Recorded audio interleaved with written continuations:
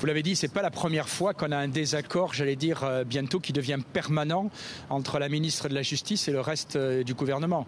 En plus, j'ai été ministre. Euh, je peux vous dire qu'après un tel désaveu, je pense que la moindre des choses, c'est de présenter sa démission. Parce que, pour parler français, c'est une baffe phénoménale qui lui est, qui lui est donnée en public entre l'annonce hier qu'elle fait en Algérie en disant que jamais cette mesure sera prise, et puis maintenant on lui demande de porter une réforme dont chacun sait qu'elle n'est absolument pas d'accord sur les termes. Je, suis surpris, moi, franchement, qu'elle s'accroche à ce poste et qu'elle ne démissionne pas, parce que euh, quand on est ministre, euh, effectivement, ou on la ferme ou on claque la porte. Et là, elle devrait claquer la porte.